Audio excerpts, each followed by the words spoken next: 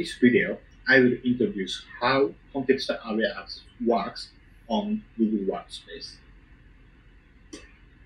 First of all, I will show two devices. One is a company-owned device. This is a very standard Windows device. The other one, the other one is also a standard Windows device, but this is a BYOD device owned by yourself. I open my Chrome browser and see, uh, I see my account. The account name is CAA01 at g-guardian.com. The other one, the on BYOD device, I also open Chrome browser and see the CAA01 at g-guardian.com. So the account is completely same. But if I try to access to Gmail from company-owned device, I just click the Gmail. Then I can, of course, open the Gmail user interface. Also, that if I try to open Drive, that is possible. Because this device is uh, managed by your company, your organization. But if I try to open from my personal device,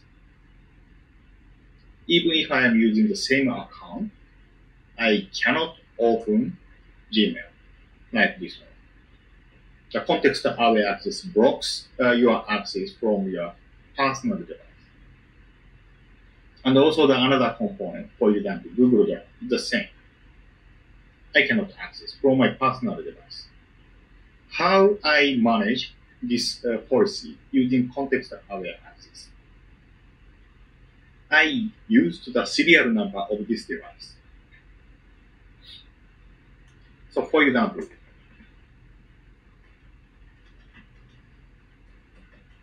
I can see my serial number from this command line.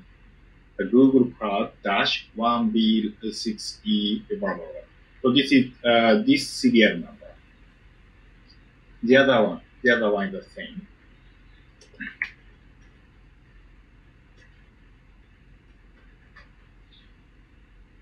Of course, uh, devices are different. So it means the serial number is also different. So in this case, the, my personal device serial number is cloud, uh, Google Cloud dash EB20C paragraph. I already registered the company-owned device serial number 1B6C4 paragraph into the G, uh, Google Workspace admin console. It will do the uh, admin console in the device section.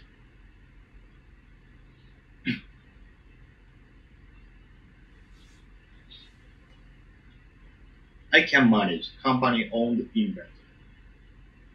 So in this section, I already registered Google Cloud dash 1B6E4 This is uh, my uh, company issued device serial number. So that is why I can access from uh, my CYOD device, company owned device to uh, Google Workspace, but I cannot access from my personal device. And also the additional note, if you want to restrict access from non-Chrome browser, that is also possible.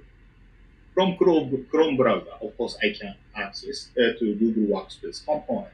But for example, if I try to open, use Internet Explorer on the same CYOD device,